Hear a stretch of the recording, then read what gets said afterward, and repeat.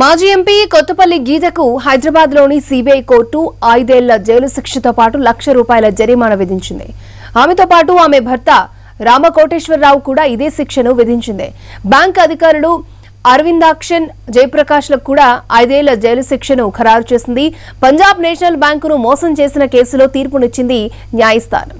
రుణాల పేరిట పంజాబ్ నేషనల్ బ్యాంకును నలభై రెండు పాయింట్ ఏడు తొమ్మిది కోట్ల రూపాయలు మోసం చేశారన్న కేసులో కొత్తపల్లి గీత ఆమె భర్త రామకోటేశ్వరరావు కొందరు బ్యాంకు సిబ్బందిని సిబిఐ కోర్టు దోషులుగా నిర్ధారించింది. కొత్తపల్లి గీత దంపతులతో పాటు బ్యాంక్ అధికారులు జయప్రకాశన్ అరవిందాక్షన్కు ఐదేళ్ళు జైలు శిక్ష విధించింది. విశ్వేశ్వర ఇన్ఫ్రాకు రెండు లక్షల రూపాయలు జరిమానా విధించింది. కొత్తపల్లి గీత ఆమె భర్త పి. రామకోటేశ్వరరావు డైరెక్టర్లుగా ఉన్న విశ్వేశ్వర ఇన్ఫ్రాస్ట్రక్చర్ ప్రైవేట్ లిమిటెడ్ గతంలో హైదరాబాద్లోని Punjab National Bank Banjara Hills branch నుంచి నలభై రెండు కోట్ల డెబ్బై తొమ్మిది లక్షల రుణం పొందింది.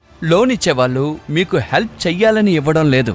వాళ్ళకి లాభం దక్కాలనే ఇస్తున్నారు. అలా అయితే మంచివారు ఎవరు చెడ్డవారు ఎవరు? తెలుసుకోవాలా? ఫ్రీడమ్ యాప్ని ఇప్పుడే డౌన్లోడ్ చేసుకోండి. బ్యాంక్ అధికారులతో కుమ్మక్కై తప్పుడు డాక్యుమెంట్లు సమర్పించి ఈ రుణం పొందారని ఆ డబ్బును ఇతర అవసరాలకు మళ్ళించి మోసం చేశారని వీరిపై అభియోగం నమోదైంది. దర్యాప్తు చేసి నిందితులపై రెండు వేల పదిహేను జులై పదకొండున హైదరాబాద్ సిబిఐ కోర్టులో సిబిఐ ఛార్జ్ షీటు దాఖలు చేసింది. విచారణ జరిపిన సిబిఐ ప్రత్యేక న్యాయస్థానం జైలు శిక్ష విధిస్తూ తీర్పు చెప్పింది.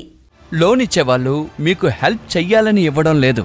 వాళ్ళకి లాభం దక్కాలనే ఇస్తున్నారు. అలా అయితే మంచివారు ఎవరు చెడ్డవారు ఎవరు? తెలుసుకోవాలా?